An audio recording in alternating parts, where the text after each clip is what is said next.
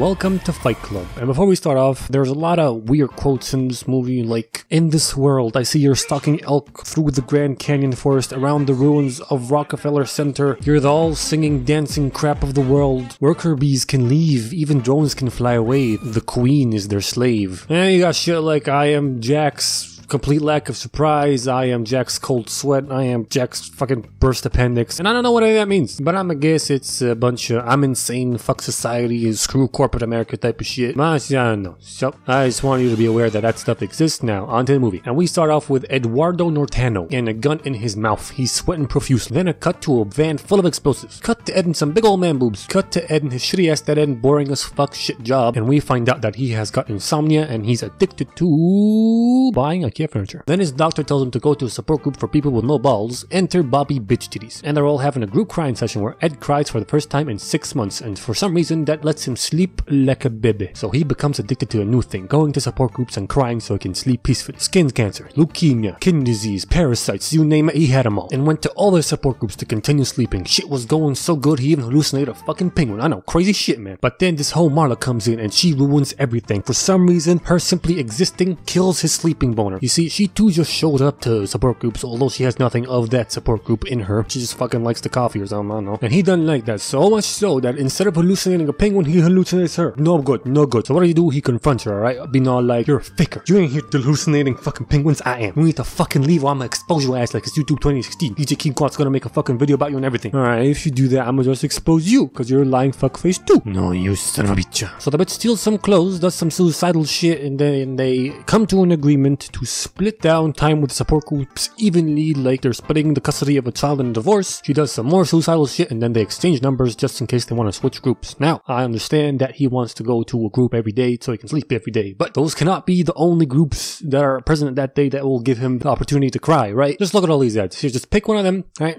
That fulfills your needs of making your eyes sweat and be on your merry way. However, I think that doesn't even matter. I think he's already mentally deranged. Next up, we got Ed traveling all over America to check out some of the cars that his company manufactures that has major design flaws that end up killing people and see if they would do a recall on them, which they never do because, you know, money and shit. And he tells this information to every single passenger he meets on a fucking flight, which makes me think he never signed an NDA or has no idea what it means. Then this lady asks him what car company he works for, and he's just like, A major one. now, this coupled with the fact that they showed us an almost unrecognizable burnt wreck of a car with a fake badge on it makes me think that this movie is hiding the real manufacturer of this car to be deep and cool and shit, or they're avoiding a lawsuit from said major car company. However, as you may recall, I said almost unrecognizably burnt wreck. That is because I'm 90% sure that this is a 1999 or earlier Lincoln Town Car. And a quick Google search confirms this. Now, given that Ford has owned Lincoln since forever, this major car company is Ford. Ha! Think I wouldn't notice, movie? Think I wouldn't notice, but I fucking did. Not me. I did. Eat my shit, movie. Okay, so I did some more detective work, and apparently other people have found this out before me, but still, I found that on my own. So I'm still proud of myself. Moving on, on a flight back home, he hallucinates this and then meets Tyler GG. One crazy motherfucker that's super enthusiastic about homemade explosives. He gives him his car, they land, and Ed goes home to his condo to find out that it has been blown up with every single thing inside of it, including his beloved IKEA furniture has been burnt to a crisp. He can't go up there, and with nowhere to stay, he finds Marla's number and calls her up, and he's like, no, I'ma call Tyler. Okay, so I understand you're a sad sack of shit with no friends, but you clearly have enough social skills to strike up conversation with complete randos. You must have like a coworker you know a bit enough to like crash at their place, or even the doorman that asks you if you have a place to stay, your doctor, fucking Bob, whatever. All I'm saying is your first two choices to call for help shouldn't be a woman that you have expressed nothing but hatred for and a little fucking terrorist or whatever, you know, dude's got issues. What you gonna do? So he meets Tyler at a bar, they drink, talk about some stuff, we live in a society, blah blah blah blah blah. Ed asks him if he could crash at his place, and he's like, sure. Hit me. What? So this is right around where we get a little bit of a history lesson about Tyler. You see, by day, he is an explosive soap salesman. By night, he is a projectionist that splices in porn pictures into kids' movies and a waiter at a fancy place where he shits and pisses in rich people's food. Now let's cut back to where we were. So Ed hits Tyler and Tyler's like, vibe check.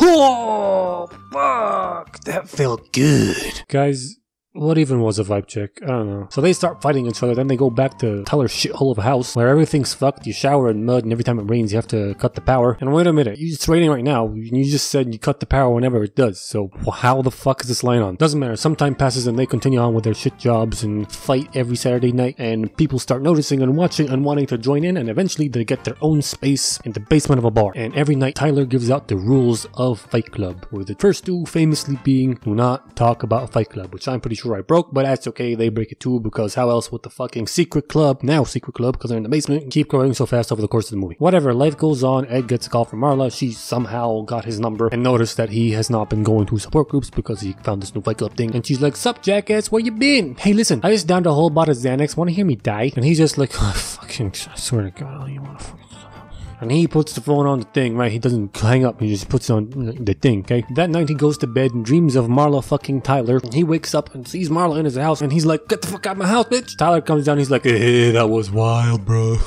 And he tells Ed never to talk to her about him or even mention him around her. Ever, never, ever, ever, never, never, ever. But how did Marla get there in the first place? Well, good question. You see, Tyler found the phone because it wasn't hang up and he heard her rambling and went over to her place. I don't know how he went over to the place. She, we didn't hear her give him the address or anything, but I'm gonna assume she did, right? He gets there, shakes a dildo and takes her back to his place and she's like, if you don't keep me awake on that, I'm to die. So he fucks the shit out of her. so he continues to do so for many days. Ed tells her to fuck off for many days. Then he gets a call from the cops saying that his apartment was blown up by some homemade explosives. Then they go and steal some fat from a liposuction clinic to make some explosive soap and. Wait, what is this place? Dude, I think this is a question you should ask before doing anything illegal. You fucking moron. Doesn't matter. They spill some fat, which is just.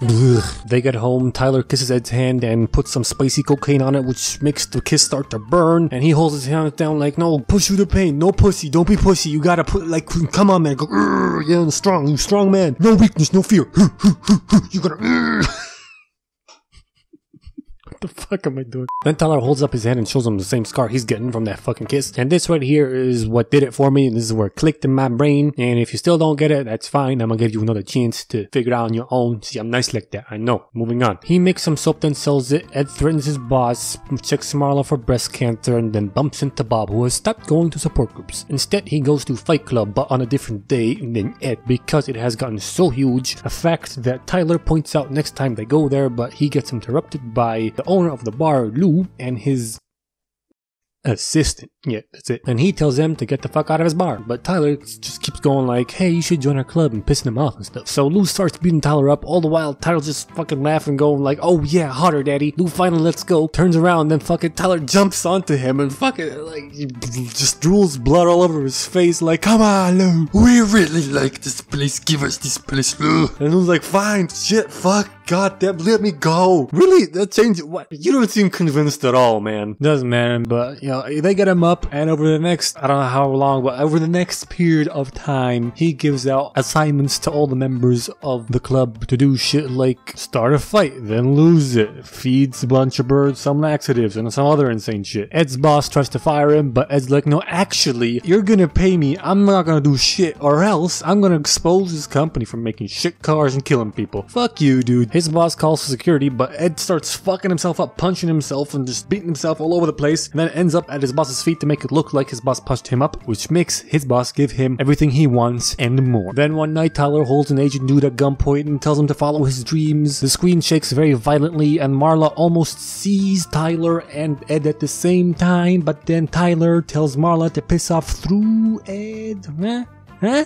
Yeah, get it. Tyler and Ed are the same person. Then Tyler starts hazing and recruiting Fight Club members to make a Tyler Army to do some crazy shit, like making the devil's smiley face, which is part of Project Mayhem that Tyler knows everything about, but Ed knows nothing about. And now, because of all the ludicrous shit they're doing, cops are on their asses, so they threaten to cut this politician's balls off if he doesn't keep the cops off their asses. Then Ed beats up a dude and gets in a car with Tyler, not facing Blockhead, and they drive along. Ted and Ed have a big ass argument. I'm really curious what this looks like from these two guys' perspective, because they can clearly hear what they're saying, but obviously Tyler and Ed are the same person, so what's like, what does this look like? Is he having a seizure? Is he talking to himself left to right? Is he bobbing furiously? I don't know. I just want to know, man. Tyler tells Ed that he has to stop being a pussy and let go, figuratively of many things and physically of the steering wheel. They crash to another car. Ed passes out and wakes up in the house with Tyler nowhere to be seen and the Tyler army filling the house to the brim, making explosive soap, and no one wants to tell him anything about Project Mayhem. So he gets sad, goes out, meets Marla, tells her that Tyler isn't here and to beat it. Then he hears the ruckus inside and everybody rushes in. Everybody except for these two guys. Apparently they don't give a fuck. I don't know why. But that doesn't matter because Bobby got shot while doing an assignment with these two cunts. Then everybody starts chanting his name. But I have a question about the logistics of getting Bob over here because he's not exactly what you would call a light human being. And the cop was right there. How the fuck did you carry him all the way over here, avoid the cops, and avoid getting shot at the same time? Doesn't matter. Let's keep going. Ed finds out that Tyler's been traveling all over America, starting up fight clubs and franchising, he calls it. And everywhere he goes, he asks questions, but everybody just answers like, I don't know what you're talking about. Sir? Wink. Everybody except for this guy. This guy calls him Tyler. And he's like, oh, fuck. So he calls up Marla and asks her if they ever had sex. And he's like, yes. Then Tyler shows up and he's like, fuck you, dude. He said you talk about me there. Blah, blah, blah. And that he's everything Ed wanted to be. And then everything starts clicking in Ed's brain, right? He's like, oh my god, I made this dude up in my brain. I am him. And Tyler takes over Ed's body every time he goes to sleep. Then his brain gets overwhelmed and he passes out, wakes up to find that Tyler has made a bunch of phone calls. So he flies back home and finds that the army has been mobilized to blow up a bunch of credit card companies and create chaos and delete all the debt from all the people. So he collects all the evidence he can, tries to keep Marla safe, who now hates him because he's a fucking psycho. And then he goes to the cops to give all the evidence, tell them all the fucking credit card explosion stuff happening. So this guy goes like, mm, mm, I'm gonna go check this shit out. And all these three cops turn out to be part of the fucking army. And they're like, I really respect what you're doing here, sir. Samatiris. You see, Tyler told the army that no one should get in the way of Project Mayhem, not even himself. And anyone who does should have his balls cut off. So they start doing that. But he fights back, takes a gun, runs away through the fucking police station and boxers with a gun, goes to one of them buildings that's about to be blown up to defuse one of the bombs. But Tyler's there to stop him, and they start fighting each other. But they're the same person, so he's fighting himself. It's fucking insane, man. Ed gets knocked out, and Tyler takes him to a place where they can witness the fall of financial history with front row seats. Ed desperately tries to stop Tyler, but plan's already in motion, motherfucker. So he's just like, oh, fuck my life, man. Wait a minute. If we're the same person, and you've got the gun in your hand, that means the gun is in my hand. Suddenly, Tyler's on the back foot, but he can't shoot Tyler. He tried that before, and that doesn't do shit. So he just puts the gun to